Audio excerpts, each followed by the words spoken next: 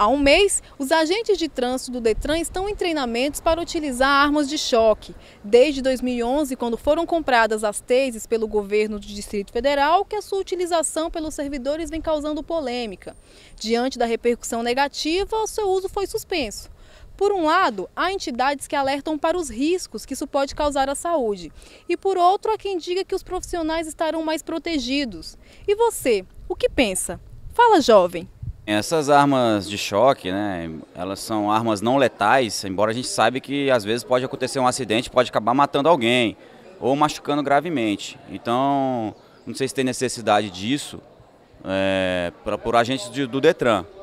O que a gente precisa, a gente não precisa mais de violência. Se for uma, uma coisa perigosa, uma operação perigosa, eles podem pedir o apoio da, da Polícia Militar, do BPTran, etc eles não precisam usar esse tipo de coisa. Enxergando a forma como o nosso trânsito está violento de fato e acontecem coisas absurdas que a gente nunca imaginaria que aconteceria, eu, eu entendo se eles verem necessidade nisso. Nós entendemos que o uso de armas de choque pelo Detran pode gerar determinadas situações de constrangimento e violação dos direitos humanos, e isso nos preocupa que há uma tentativa generalizada nos órgãos de segurança pública de se recrudescer esses mecanismos de repressão e isso se mostra ineficaz, em especial no tocante às questões dos direitos humanos.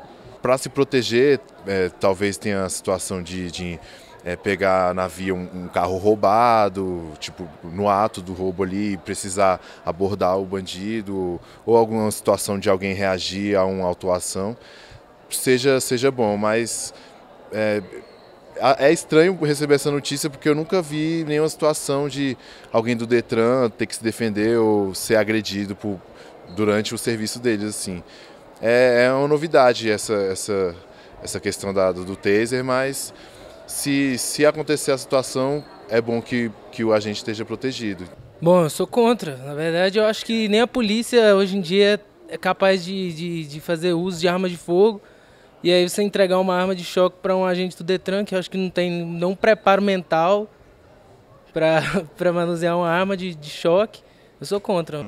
É uma, uma alternativa viável frente às demandas que o Detran tem, inclusive de, é, de pessoas que eles abordam que estão bêbadas, e, enfim é uma alternativa não letal, inclusive, deles poderem garantir a própria segurança, inclusive, e também dos outros, porque a gente nunca sabe o que pode acontecer daqui para frente com uma abordagem um tanto quanto inesperada, que as blitz ninguém sabe quando vão aparecer.